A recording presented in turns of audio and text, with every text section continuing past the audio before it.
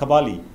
ஒரு தலித்திய படமாக வெளியே வந்திருக்கு. அதற்கு மேலே பயங்கர விமர்சனங்கள்லாம் எழுந்திருக்கு. நீங்கள் கபாலி பார்த்தீங்களா? இந்த இந்த போக்கை வந்து நீங்கள் எப்படி என்ன எப்படியா உணர்றீங்க? அதாவது அரசியலில் வந்து அவர்கள் நடத்துகிற கட்சிக்குள்ளே ஒரு தலித் வந்து உறுப்பினராக இருக்கிறது பொறுப்பில் இருக்கிறது ஓகே. அது வரலாம் விமர்சனம் வராது. ஆனால் ஒரு விடுதலை சிறுத்தைகள் கட்சின்னு ஒரு இயக்கத்தை உருவாக்கி திமுக அதிமுக மாதிரி விடுதலை சிறுத்தைகளையும் வளர்க்கணும் அப்படின்னு நான் முயற்சி எடுக்கிற போது எனக்கு எதிராக கடுமையான விமர்சனங்கள். திமுகவில் இருக்கிற எந்த தலித்துக்கு எதிரான விமர்சனம் கிடையாது. அதிமுகவில் இருக்கிற எந்த தலித்துகளுக்கு எதிரான விமர்சனம் கிடையாது. ஆனால் விடுதலை சிறுத்தைகள் கட்சின்னு ஒரு அமைப்பை உருவாக்கி வெளியே வரும்போது இல்லாத பொல்லாத அடாத பழிகள் எல்லாம் வந்து சுமத்தப்படுகிறது.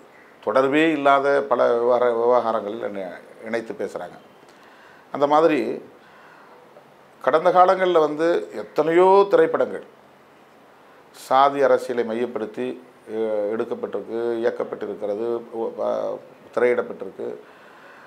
இன்னும் சொல்லப்போனால் சாதி பெருமைகளை வந்து நிறைய பேசக்கூடிய படங்கள் வந்திருக்கு. யாரும் வந்து எந்த ஒரு தலித்தும் இது ஏன் இந்த மாதிரி வந்து நீ சாதி பெருமை பேசுகிறேன்னு பொறுத்த கூட வெளில சொன்னது கிடையாது. அது படம் பார்த்துரு இது பாரதி ராஜா படம் அவ்வளோதான் எங்களுக்கு தெரியும். இது வந்து கா பாக்யராஜ் படம் அவ்வளோதான் அதுக்குள்ளே என்ன சாதியை வச்சு பேசுகிறாங்க என்ன எந்த சாதியை பெருமைப்படுத்துகிறாங்க அப்படிங்கிறதான் பார்க்குறது கிடையாது. ஒரு ஹீரோ ஹீரோ பிடிச்சிருந்தா அந்த ஹீரோ படம் தான். இது நடிகர் ரஜினி நடித்த படம் இது நடிகர் கமல்ஹாசன் படம் அப்படின்னு படம் பார்த்துட்டு வரதோட சரி. தேவர் மகன் ஒரு படம் போட்டாங்க. நானும் ரெண்டு தடவை பார்த்துருக்குறேன். அந்த பெயரை பார்த்துட்டோ அல்லது அதில் பேசக்கூடிய கதை க கருவை பார்த்துட்டோ அதை நம்ம வந்து வெறுப்பாக பார்க்கல. ஏன் கமல்ஹாசன் இப்படிலாம் எடுக்கிறாரு நம்ம இந்த இடத்துல விமர்சனம் பண்ணலை? அது மாதிரி பாரதி ராஜா படத்தில் மண் வாசனை படத்தை பார்த்துருக்கேன். முதல் மரியாதை படம் பார்த்துருக்கேன். பல படங்கள் நான் பார்த்துருக்குறேன். அதுக்குள்ளே ஒரு குறிப்பிட்ட சமூகத்தினுடைய வாழ்க்கை அவங்களுடைய கலாச்சாரம் அவங்களுடைய பண்பாடு அவருடைய அரசியல் எல்லாம் அதில் பேசப்படுகிறது. ஏன் பாரதி ராஜா இப்படி வந்து எடுக்கிறார் இப்படியே அதை சொல்கிறாரு அப்படின்னு நம்ம ஒரு இடத்துல இதுவரையும் அப்படி ஒரு நெகட்டிவ் அப்ரோச் நமக்கு வந்ததே கிடையாது. ஆனால் ரஞ்சித் எடுத்த படம் மொத்தம் மூணு.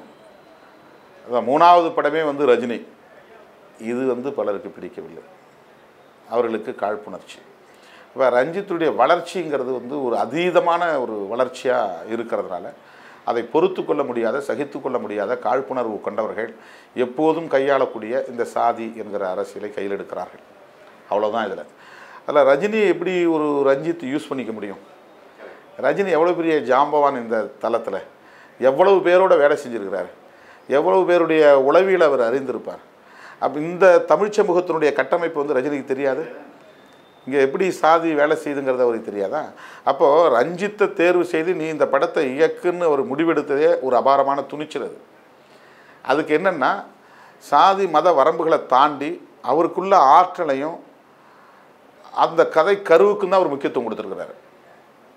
அப்போ அந்த மாதிரி தான் இந்த படத்தை பார்க்கணுமே தவிர இதில் வந்து வெறும் சாதி அடையாளத்தை முன்னிறுத்தி இதை வந்து காழ்ப்புணர்ச்சியோட விமர்சனம் செய்வது எந்த வகையிலும் ஏற்புடையதல்ல. இதில் ரஜினியையும் வீழ்த்த முடியாது ரஞ்சித்தையும் வீழ்த்த முடியாது. மகிழ்ச்சி தான் உங்களுக்கு? மகிழ்ச்சி தான்.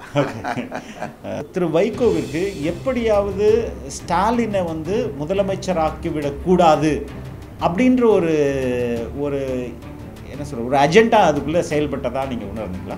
எனக்கு அப்படி ஒன்றும் வெளிப்படையாக தெரியல. ஏன் அப்படின்னு சொன்னால் சட்டமன்ற தேர்தலுக்கு முன்னால் கிட்டத்தட்ட நாடாளுமன்ற தேர்தல் முடிஞ்ச ஓராண்டுக்குள் நான் வந்து இந்த தலைவர்களை எல்லாம் சந்திக்க தொடங்கினேன். சென்னையில் அண்மையில் ஒரு கொலை நடந்தது. நீங்கள் தான் அது முதல் முதல்ல சொல்லுங்கள் இதற்கு பின்னாடி வந்து ஒரு அரசியல் காரணங்கள் இருக்குமோ அப்படின்ற முதல் சந்தேகம் எனக்கு இருக்குது அப்படின்னு சொன்னீங்க. இதில் முதல்ல வந்து குழப்பத்தை உருவாக்கக்கூடிய வகையில் ஒரு பதிவை போட்டது அல்லது சந்தேகத்தை எழுப்பக்கூடிய வகையில் ஒரு பதிவை போட்டது நடிகர் ஒய்ஜி மகேந்திரன் அவர்கள். ஹெச் ராஜா அவர்கள் ஒரு தனியார் தொலைக்காட்சியில் பேட்டி கொடுக்கும்போது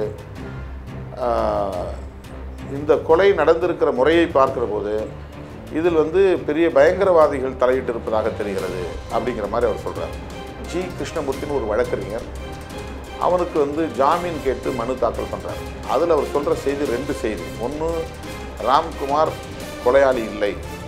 ரெண்டாவது அவர் கழுத்தில் பட்டிருக்கிற காயம் காவல்துறையினரால் ஏற்படுத்தப்பட்டது.